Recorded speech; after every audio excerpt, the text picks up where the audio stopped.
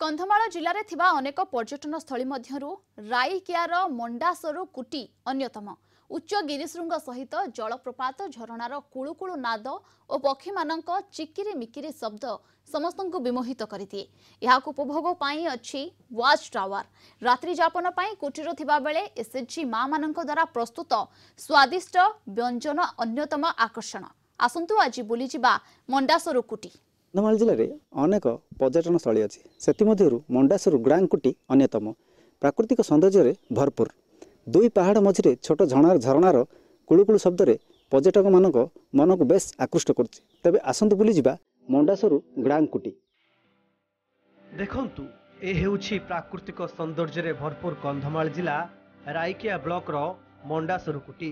ଫୁଲବାଣୀ ସଦର ମହକୁମା ଠାରୁ ମାତ୍ର ସତୁରି କିଲୋମିଟର ଦୂରରେ ପଡ଼େ ରାଇକିଆ। ସେଠାରୁ ଦଶ କିଲୋମିଟର ଗଲେ ପଡ଼ିବ ମଣ୍ଡାସରୁକୁଟି କୁଟିମାନେ ଆଦିବାସୀ ଭାଷାରେ ଖାଲ। ଦୁଇ ପାହାଡ଼ର ବୁକୁ ଚିରି କୁଳୁ କୁଳୁ ନାଦରେ ବହି ଆସୁଛି ଝରଣା। ଆଉ ପାହାଡ଼ର ପାଦଦେଶକୁ ଲମ୍ଫ ପ୍ରଦାନ କରୁଛି। ଚାଳିଶ ଫୁଟ ଉଚ୍ଚରୁ ଡେଉଁଥିବା ଝରଣାର ଅପରୂପ ସୌନ୍ଦର୍ଯ୍ୟ ଉପଭୋଗ କରିବାକୁ ରହିଛି ପ୍ରାୟ ତିରିଶ ଫୁଟର ୱାଚ୍ ଟାୱାର। ଭ୍ୟୁ ବଢ଼ିଆ ହେଇଛି। ଭ୍ୟୁ ବହୁତ ଭଲ ହେଇଛି ଏଠି। ଦାରିଙ୍ଗବାଡ଼ି ମଣ୍ଡାସରୁ ଏରିଆ ଆମେ କେବେ ଏକ୍ସପ୍ଲୋର କରିନଥିଲୁ।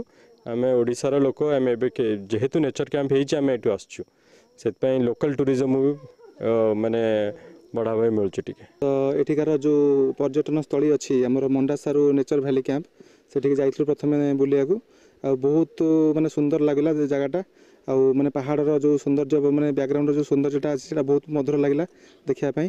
ତ ଏବେ ଆମେ ଆସିଛୁ ଯେଉଁ ଝରଣାଟା ଅଛି ୱାଟରଫଲଟା ସେଇଟା ଦେଖିବାକୁ ଆମେ ଆସିଛୁ ଆମେ ଆସିଥିଲୁ ୱାଟରଫଲ୍ ଦେଖିବା ପାଇଁ ଏଠିକି। ଆଉ ସେଇଠି ୱାଟ- ମନ୍- କ'ଣ ମଣ୍ଡାସୁର ଯାଇଥିଲୁ। ସେଇଠି ବି ଦେଖିଲୁ ଗାର୍ଡ଼େନ୍ ହେଇଛି। ବହୁତ ହିଲ୍ ଭ୍ୟୁ ବି ବଢ଼ିଆ ଅଛି। ଆଉ ପର୍ଯ୍ୟଟନ ସ୍ଥଳୀ ବହୁତ ଭଲ ସୁନ୍ଦର ହେଇଛି। ପ୍ରକୃତିର ବିବିଧ ଛିଟା ଦେଶ ବିଦେଶର ପର୍ଯ୍ୟଟକଙ୍କୁ ଆକୃଷ୍ଟ କରୁଥିବା ବେଳେ ଏଠାକାର ଚିଲଡ୍ରେନ୍ ପାର୍କ ଛୋଟ ଛୋଟ ପିଲାଙ୍କ ମନ ମୋହୁଛି। ପିଲାଙ୍କ ପାଇଁ ରହିଛି ବିଭିନ୍ନ କିସମର ଦୋଳି। ପାର୍କରେ ଥିବା ପ୍ରାକୃତିକ ଜଙ୍ଗଲ ଓ ଫୁଲ ବଗିଚା ଅନ୍ୟତମ ଆକର୍ଷଣ। ଏଠାରେ ବଣଭୋଜିର ସୁବିଧା ମଧ୍ୟ ରହିଛି। କାଠରେ ତିଆରି ବଙ୍ଗଳାରେ ରାତ୍ରି ଯାପନ ଅନୁଭୂତି ଅବର୍ଣ୍ଣନୀୟ। ଏହି ବଙ୍ଗଳାରେ ରହିବା ପାଇଁ ହେଲେ ଅନଲାଇନରେ ବୁକିଂ କରିବାକୁ ପଡ଼ିଥାଏ। ପର୍ଯ୍ୟଟକଙ୍କ ଭିଡ଼ ଲାଗି ରହିଥିବାରୁ ସ୍ଥାନୀୟ ବ୍ୟବସାୟୀମାନେ ମଧ୍ୟ ଦି ପଇସା ରୋଜଗାର କରିପାରୁଛନ୍ତି। ମଣ୍ଡାସର କଟେଜ ରହୁଛୁ। ଅ, ହେଇ- ସେଇ ପାର୍କ ଭିତରେ କଟେଜ ଅଛି। ବହୁତ ଭଲ ଏରିଆ ଅଛି ବହୁତ ଭଲ ସୁନ୍ଦର ଭ୍ୟୁଜ୍ ବି ଅଛି ଏଇଠୁ। ଆଉ ଆମେ କାଲି ଆମେ ଆଜି ସକାଳୁ ପହଞ୍ଚିଛୁ ଏଇଠି କଟେଜରେ ଆଉ ଆମେ କାଲି ସକାଳ ଯାଏଁ ଅଛୁ। ବହୁତ ଭଲ ଭ୍ୟୁ ପଏଣ୍ଟ ଏଠି ଅଛି। ଆଉ ଆଉ ଯାହା ହଉ ଏତେ ରିମୋଟ୍ ଏରିଆରେ ଏମିତି ଗୋଟେ ଥିବ କାହାର ବି ଏକ୍ସପେକ୍ଟେସନ୍ ବାହାରେ। କିନ୍ତୁ ଗଭର୍ଣ୍ଣମେଣ୍ଟର ଆଉ ଟିକେ ଦରକାର କିନ୍ତୁ ବହୁତ ବଢ଼ିଆ ଅଛି ପ୍ଲେସ୍ ଟିକେ ପାଣି କମିଯାଇଛି ବୋଧେ? ନହେଲେ ନାହିଁ ultimately it is really awesome view ବହୁତ ବାଟ କିନ୍ତୁ ଚାଲିବାକୁ କିନ୍ତୁ ବହୁତ ଭଲ ଜାଗା ତଳେ। ବାକି ସମସ୍ତେ ଆସନ୍ତୁ ଭିଜିଟ୍ କରନ୍ତୁ ବହୁତ ଭଲ ଜାଗା।